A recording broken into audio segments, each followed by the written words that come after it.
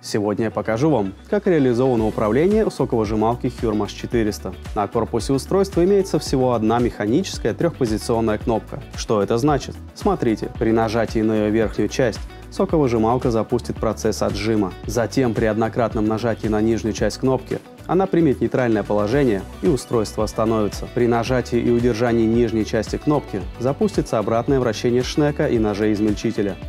Реверс необходим для разблокировки устройства. Когда застревают особо твердые и крупные кусочки продукта, шнек или ножи может заклинить. Нужно сначала остановить двигатель, то есть перевести кнопку в нейтральное положение, дождаться остановки двигателя, который по инерции еще продолжает пару секунд работать, а затем запустить реверс путем нажатия и удержания кнопки в нижнем положении. Сейчас я приготовлю сок из апельсинов.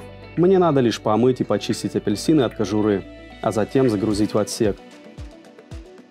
Соковыжималка сама измельчит, отожмет и выведет жмых. Останется только подставить стакан, слить свежий сок и с удовольствием его выпить.